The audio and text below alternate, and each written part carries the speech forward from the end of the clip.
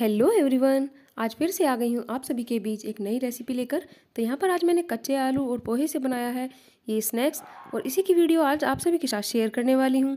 तो फटाफट से बन जाते हैं, खाने में बढ़िया लगते हैं। तो ये बढ़िया से स्नैक्स आज मैं आप सभी के साथ शेयर करने वाली हूँ इसकी वीडियो तो वीडियो लास्ट तक देखिएगा स्किप मत कीजिएगा। तो चलिए बनाना स्टार्ट करते हैं। सबसे पहले यहाँ पर मैंने दो आलू ले लिए हैं। अच्छे से धो लिया है इनको छील कर इस तरीके से काट लिया है। इसके बाद इसमें मसाले ऐड कर लेंगे। थोड़ा सा साबुत जीरा डालेंगे। थोड़ी सी हल्दी डाल देंगे। थोड़ा सा डाल देंगे नमक। लेकिन नमक इतना डालना है जितना कि हमारे स्नैक्स के लिए काफ़ी हो। यहाँ पर थोड़ा सा धनिया पाउडर डाल देंगे। यहाँ पर डाल देंगे थोड़ी सी हींग। और अब ले लेंगे हम एक कटोरे से नाप कर पोहा।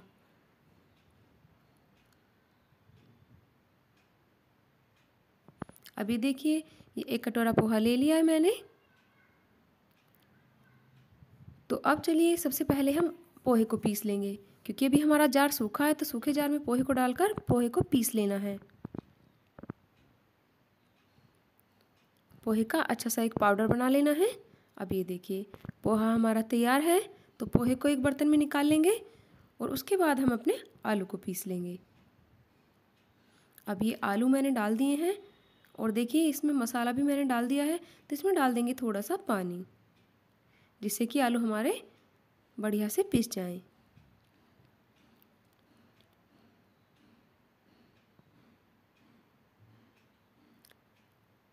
तो यहाँ पर हमारा आलू का पेस्ट भी तैयार हो गया है।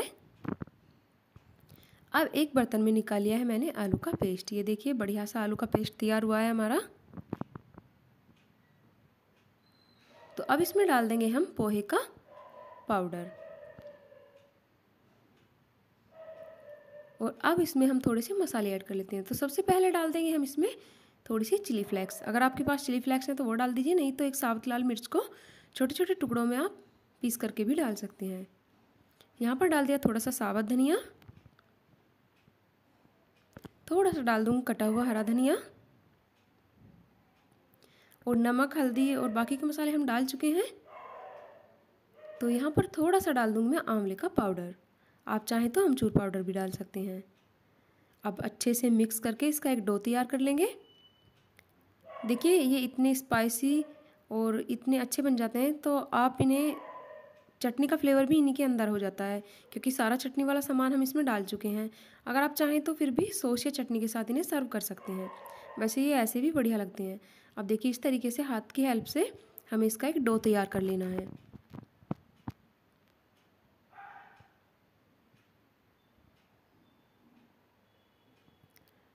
ये फटाफट से 10 मिनट में हमारा नाश्ता तैयार हो जाता है। सुबह की भागदौड़ भरी ज़िंदगी में फटाफट से आप ये नाश्ता तैयार कर सकते हैं और बच्चों को तो ऐसी चीज़ें बहुत ही पसंद आती हैं तो आप फटाफट से बच्चों के लिए ब्रेकफास्ट में ये बना सकते हैं। अब हाथ की हेल्प से इस तरीके से छोटी छोटी लोइयाँ ले लेंगे और दबाते हुए एक ढक्कन ले लिया है मैंने, मैं उससे सेप दे दूँगी। आप अपनी मनचाही शेप में इन्हें बना सकते हैं। चाहे तो आप इन वाली सेप भी दे सकते हैं। तो ये देखिए मैंने इस तरीके की सेप के सारे तैयार कर लूँगी।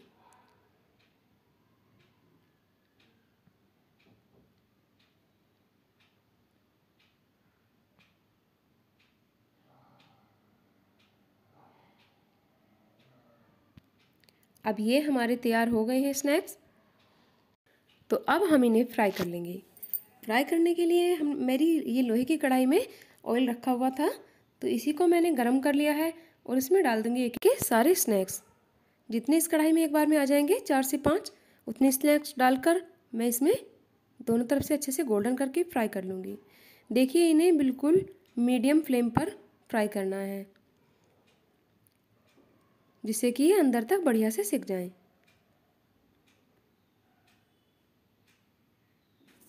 तो इसी तरीके से इन्हें दोनों तरफ़ से अच्छे से चलाते हुए गोल्डन होने तक फ्राई कर लेना है। अभी देखिए इनका कलर चेंज होने लगा है। जब भी बढ़िया से सिक जाएँगे, उसके बाद इन्हें निकाल लेना है।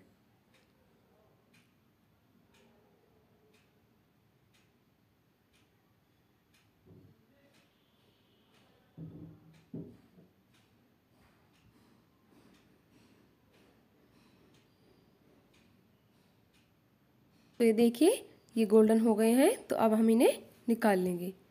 इस तरीके से साइड में लगाते हुए जिससे कि एक्स्ट्रा चिकनाई सारी कढ़ाई में रुक जाए, हमें इन्हें निकाल लेना है।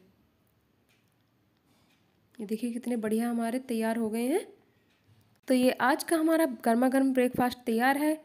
संडे स्पेशल स्नैक्स तैयार है। आप भी ट्राई कीजिए। आप सभी को मेरी रेसिपी कैसी लगी? कमेंट बॉक्स में कमेंट कीजिएगा। वीडियो को लाइक कीजिए। चैनल को सब्सक्राइब नहीं किया है तो चैनल को सब्सक्राइब कीजिए।